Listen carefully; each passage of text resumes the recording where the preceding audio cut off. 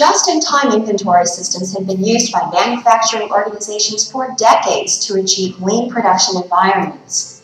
Raw material and components arrive to the manufacturing floor just in time to be used for fabrication or assembly. Some of the benefits are reductions in work in process inventory, waste, fewer defects, and fewer resources devoted to inspection.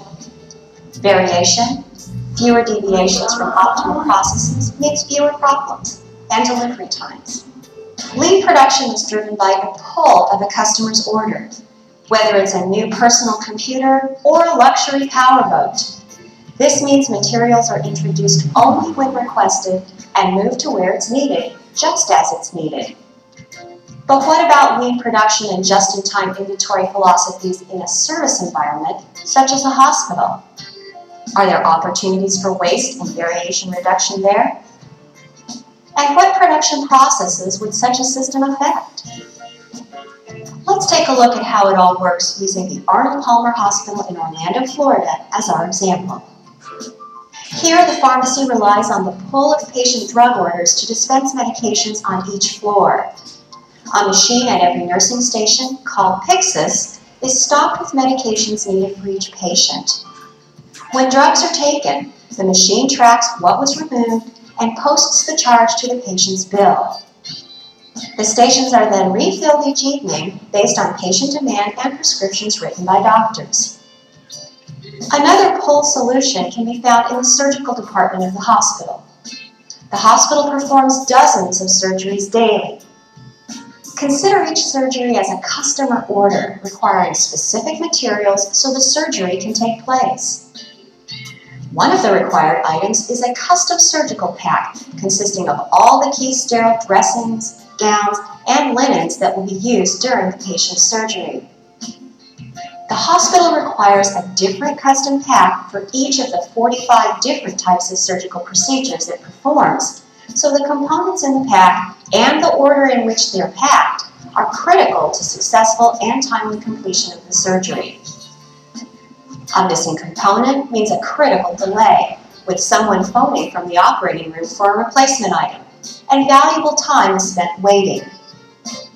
If the packs are not assembled in the correct order, time is wasted reorganizing them so they can be positioned before the surgical procedure begins. With extremely limited storage near its operating rooms, the hospital recognized the opportunity to implement a just-in-time pull system for its custom surgical packs. If the supplier could pre-package the specific items needed in the sterile packs and deliver them daily for the procedure scheduled, the hospital could realize significant benefits, both in storage and money. In fact, the hospital's central supply function has realized a drop in average daily inventory from $400,000 to $114,000 since implementing JIT techniques.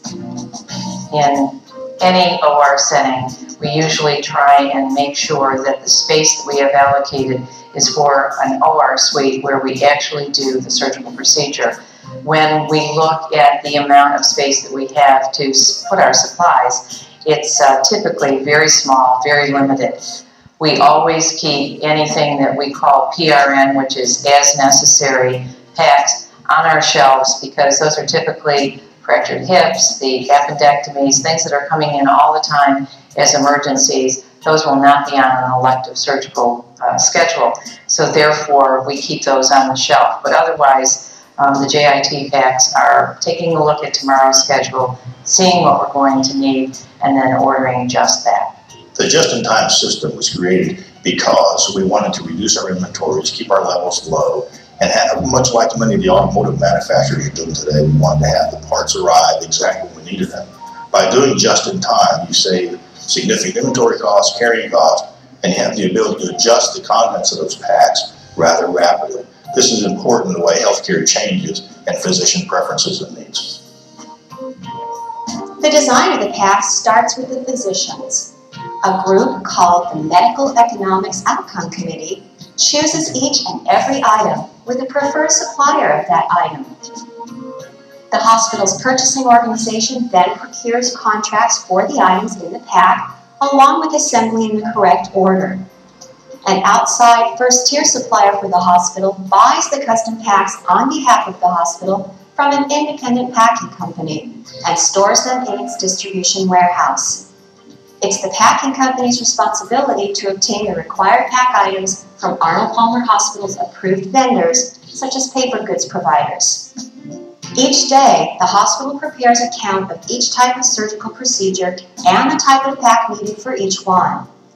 The totals, by pack, are electronically sent to the hospital's central supply department each afternoon and then conveyed electronically to the distributor's local clinical supply warehouse.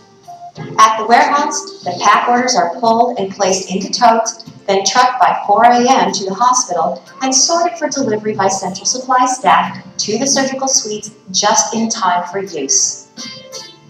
If we didn't have the custom pack um, service in place, we would probably have to resort to having um, our hallways filled with these boxes of JIT uh, packs. We have real, literally no extra space to uh, provide uh, storage for anything of this nature. They are bulky, they are big, and I would hate to use an operating room suite for storage, but that might be what we'd have to do if we did not have this luxury. What Arnold Palmer Hospital has been able to achieve is significant. First, their just-in-time environment has led to waste reduction. They have minimal storage with no excess stored inventory. Second, the precise design on surgical custom packs has led to variability reduction. There is no deviation from the optimum set of materials since they are all assembled to specification. And the pull system means surgical custom packs are not made to stock. They are pulled in each day just as they are needed for scheduled surgeries. Through its use of just-in-time and lean production philosophies, the Arnold Palmer Hospital has improved the quality of its services. They have empowered employees to identify and act on issues that require attention, and have strengthened their focus on creating value for their customers, from the tiniest newborns to the children and mothers receiving care. We wanted you to see an example of JIT at Arnold Palmer Hospital because most people think of this as a manufacturing technique.